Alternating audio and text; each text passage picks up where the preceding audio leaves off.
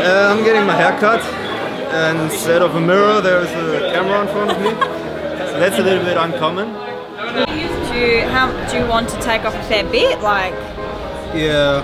or do you want to take off like half or? Make it half. Half? Make it half.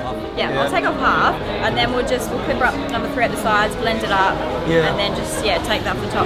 Cool? Exactly, yeah. Easy. Well, I guess you do cutting hair for a living, right? Yeah, It's yeah, I've been doing it for 10 years, so. Just not not just a hobby of yours. No.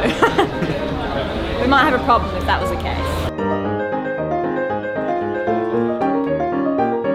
Actually, when I was 18, I had really long dreadlocks, Oh. like till the shoulders. I liked it at that time. Uh, back now, actually, a long way to get that.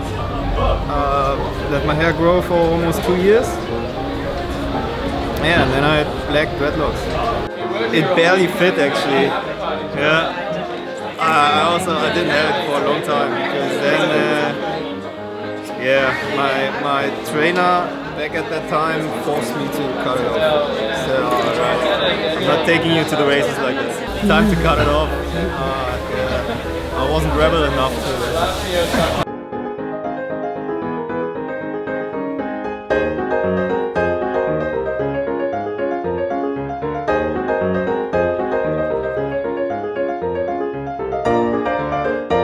Yeah, very nervous actually. I just feel the hair falling down.